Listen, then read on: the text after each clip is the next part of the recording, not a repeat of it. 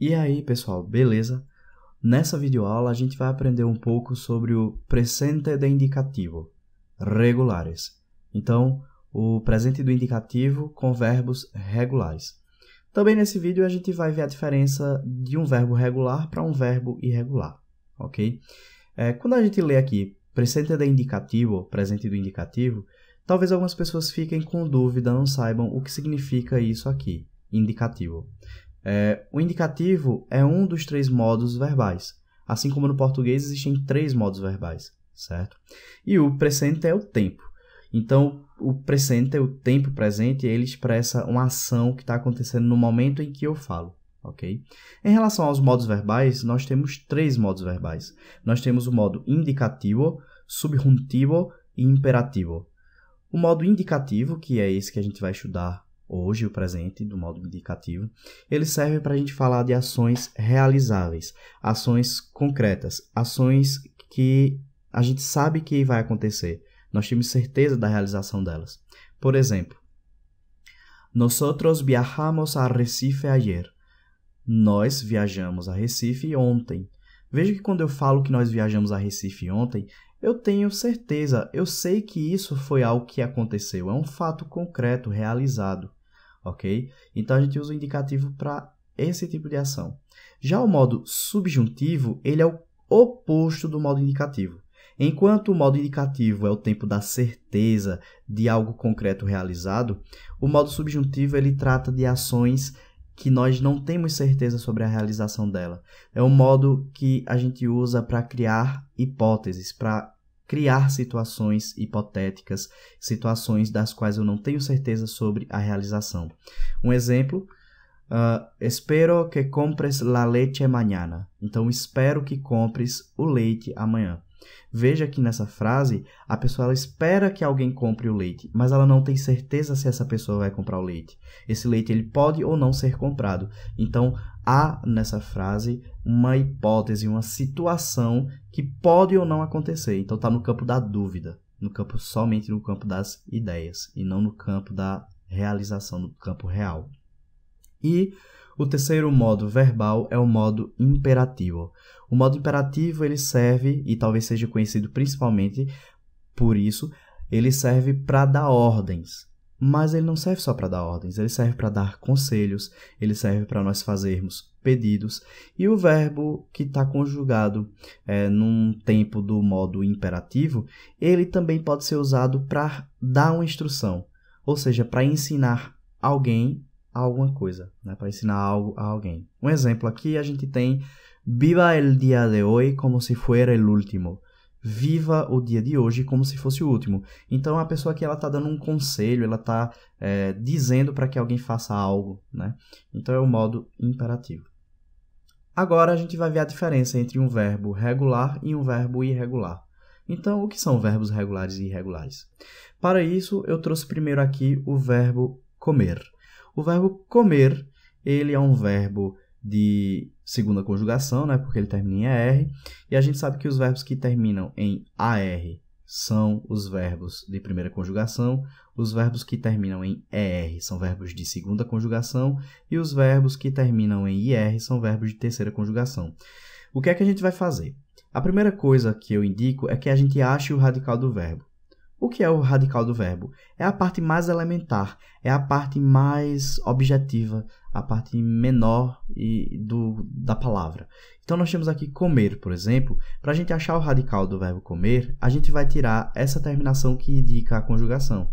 No caso, comer, ele termina em ER, então a gente vai tirar o ER. Quando nós tirarmos o ER, o que é que vai acontecer? Vai sobrar apenas o com. Com é o radical certo? A gente pode chamar de radical ou de raiz. Então, o radical dos verbos regulares, ele não muda em todas as pessoas, no eu, no tu, no ele, né? De eu, tu, ele. Em todas as pessoas, ele vai permanecer igual. Vejam se não acontece isso. O verbo comer, quando vai ser conjugado, ó, eu como, tu comes, ele come, nós comemos, vosotros comeis e eles comem. Você vai observar que esse com, que é o radical, ele está presente em todas as pessoas, do mesmo jeito que está aqui em cima. Então, ele segue esse padrão, ele segue essa ordem, essa regra. Portanto, ele é um verbo regular, comer. É diferente, por exemplo, do verbo tener. O verbo tener, ele é um verbo irregular. Por quê? Quando nós tiramos aqui o ER do verbo tener, o que sobra é ten, que é o radical.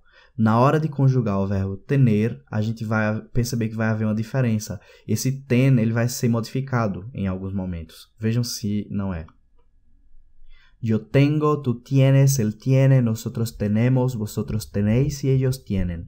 Observe que o radical aqui em cima é ten, T-E-N.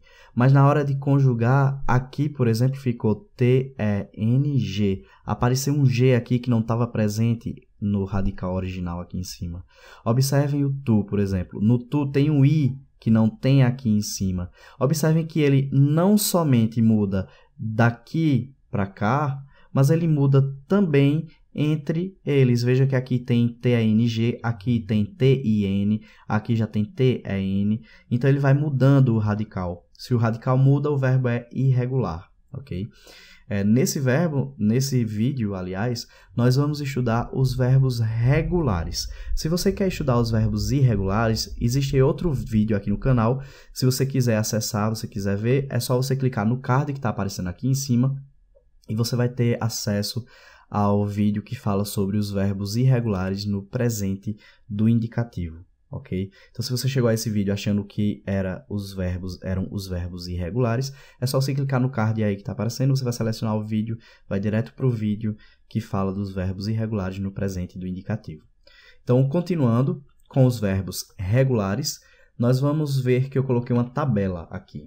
Essa tabela ela tem as terminações, as desinências. O que são terminações ou desinências? São as partes finais do verbo. Como é que eu conjugo um verbo? Eu vou usar o radical, que nós já vimos como é que nós achamos. Então, eu vou usar o radical mais a terminação ou a desinência, ok? Então, é o radical mais a terminação, o radical mais a desinência. Quando o verbo ele termina em AR, a gente diz que ele é um verbo de primeira conjugação. Quando o verbo ele é de primeira conjugação, as terminações são essas aqui: O, as, a, amos, as, an, certo? Então a gente pega o radical e coloca essas terminações. Quando o verbo termina em er, a gente diz que o verbo é de segunda conjugação e a gente coloca essas outras terminações aqui: o, es, e, emos, eis, en. Se o verbo ele termina em ir, é um verbo de terceira conjugação, a gente coloca o, es, e, emos, is, en. Aliás, aqui é imos, tá? Então, a gente vai observar que na hora de conjugar, a gente vai usar essas terminações junto com o radical. Vou mostrar a vocês aqui um exemplo. Verbo amar, por exemplo. O verbo amar, quando eu tiro o AR, o que é que sobra? AM. O AM é o radical. Como o verbo amar é regular, o AM vai estar presente em todas as pessoas. Então, ó, eu amo, tu amas, ele ama, nós amamos, vosotros amais e ellos aman. Você vai observar que o AM está presente em todas as pessoas, tal qual está aqui em cima. Então, o verbo amar é um verbo regular. E o que foi que eu fiz aqui para conjugar ele? Eu coloquei o AM, que é o radical, e depois do AM eu coloquei o, as, a. E onde é que está isso? Está aqui, ó. O, as, a, amos, as, an. Isso é a terminação. Como amar termina em AR, eu vou usar as terminações do AR, que são essas aqui, ok? Vamos ver agora um verbo terminado em ER, verbo de segunda conjugação. Beber. O que é que eu faço para achar o radical de beber? Simplesmente eu tiro ER, o que sobra, B é bebe, é o radical. Aí eu pego o radical, que é B, é B, e vou adicionando as terminações que são do ER, porque beber termina em ER. Então vai ficar bebo, porque tem o O, bebes. Então bebo, bebes, bebe, bebemos, bebeis, bebem. Pego o radical, acrescento as terminações, ok? Vamos ver o verbo terminado em IR, verbo de terceira conjugação, verbo abrir. Então, o verbo abrir, quando eu tiro o IR, o que sobra? ABR, que é o radical. Então, eu pego esse ABR, que é o radical, e vou adicionando as terminações do IR, porque abrir termina em IR. Então, vai ficar yo abro, tu abres, Ele abre, nosotros abrimos, vosotros abrís e ellos abren. Então, simplesmente para você conjugar, você pega o radical do verbo e adiciona a terminação. E aí você consegue conjugar os verbos regulares muito facilmente, ok? Bem, o vídeo de hoje é isso. Espero que vocês tenham entendido, compreendido. E é isso aí, galera. Muito obrigado e até mais. Tchau, tchau.